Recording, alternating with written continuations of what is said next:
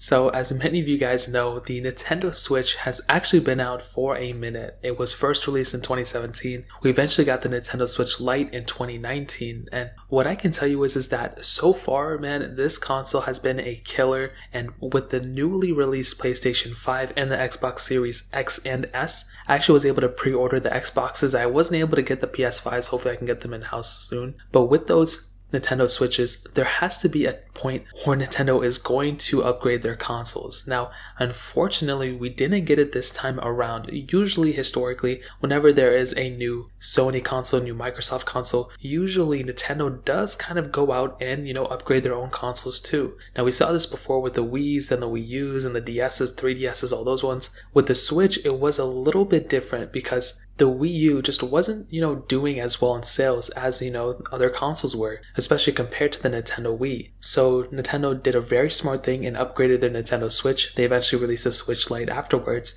And right now we are in the cusp of another upgrade opportunity in my opinion with the Nintendo Switch Lite, that was actually a very interesting thing because Nintendo can actually go and upgrade the standard Nintendo Switch, the original one, and then keep selling the Switch Lite and pretty much move on from there. And they can kind of seamlessly move from one console to the other, create some bigger discrepancies, and kind of go from there. Now, I created a ton of renders. You know, I actually created this 3D model of what the new Nintendo Switch Pro or Nintendo Switch 2, whatever they're going to call it, what it could potentially look like. And obviously, it's not the best one, you know, it needs a little bit of work. But in my opinion, some things that they could do, first of all, is increase the screen size, remove a lot of the bezel around it. And I think that's going to be one thing they're really going to focus on. As I said before, you know, throughout the history of all devices, one of the biggest changes that a lot of manufacturers do, and one thing that gets consumers really, really hyped up, are visual changes. I remember when the PS5 came out and the Series X came out, people were looking at them and really they were just comparing the outside bodies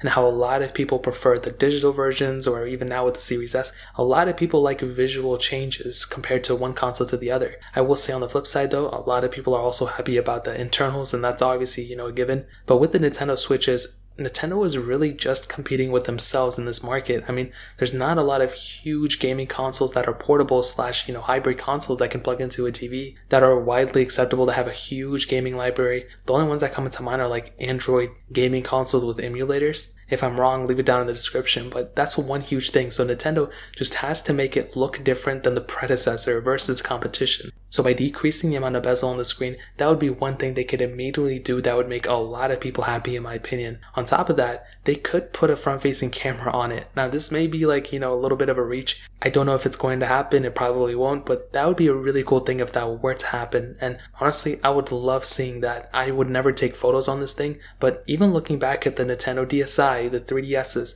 all those things had front facing cameras and back facing cameras. The Nintendo Switch doesn't have either one of those, so it may be not important, it may be whatever, but that would also be another cool thing they could do. They could also go increase the battery sizes, that'd be a big one, but I think the biggest thing they can do, in my opinion, besides increasing the screen and all those things, would be to fix those Joy-Cons. The Joy-Cons have so many issues.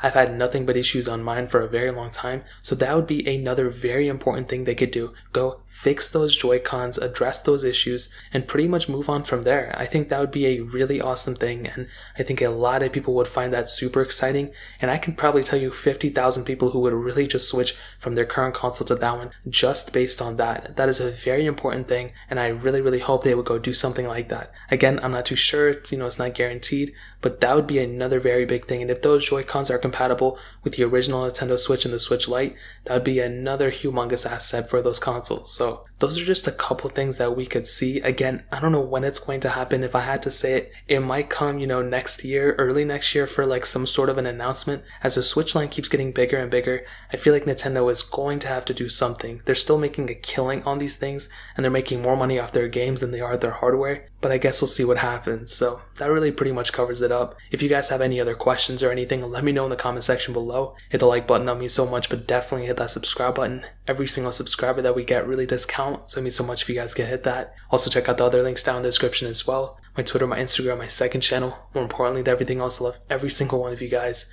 Hopefully I'll catch you guys in the next video. Peace out till then.